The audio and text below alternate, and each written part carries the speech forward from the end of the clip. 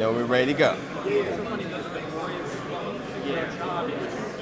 All right, we're here officially in San Diego Comic Con, and we're officially at the press room for the upcoming show Amazon's The Boys. And I am here with Nathan Mitchell. Nathan Mitchell. Nice to meet you. Nice to meet you too. So, yeah. let's talk about your character in the show. All right, all right. So I play Black Noir.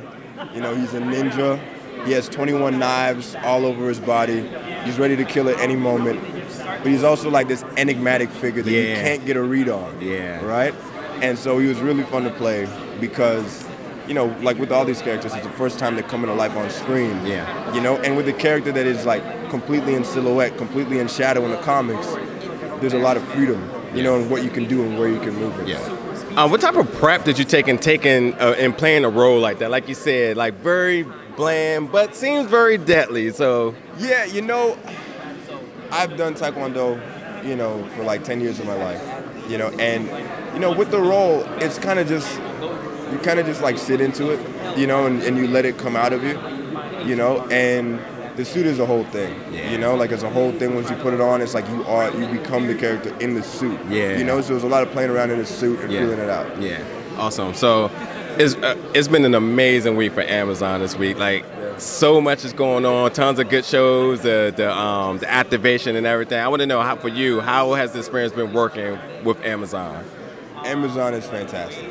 You know, I remember the first time I walked into the studio, you know, the headquarters in LA. Yeah. And like you saw the, the you know, the place like lined with like Emmys or, you know, and like the, the biggest thing is that like they're about good stories. Yeah. They want to tell good stories and they want to make it with a high production value. Yeah. Yeah. You know, and they, they care about the core of it.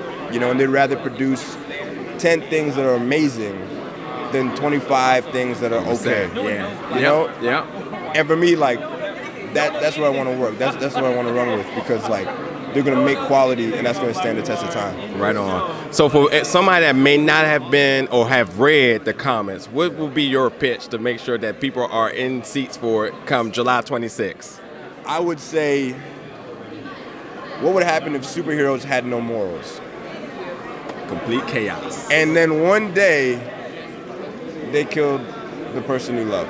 Mm. You know, like what happens? You know, when superheroes have the status of celebrities, they work for you know the equivalent of the biggest companies in the world, and they answer to nobody. Mm. You know, they lose their connection to their humanity. Yeah. And eventually, you know, they step on the wrong little person.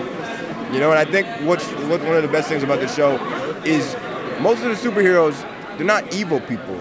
They're bad people. Yeah. And they're bad people who are at the top of this Mount Olympus but they're also struggling to stay at the top. So while they're above everybody else, they all have their personal challenges. And I think that humanity is really one of the show's strengths. Awesome. I am looking forward to it. Again, you can check that out. It's going to be on Amazon July 26th. I believe that's the correct date, right? Yep. Yep, yep, yep, yep. July 26th. So, again, thanks for chatting with me today, and I hope you have a good rest of your con. Thanks, man. Thanks, Cheers. buddy. Yeah.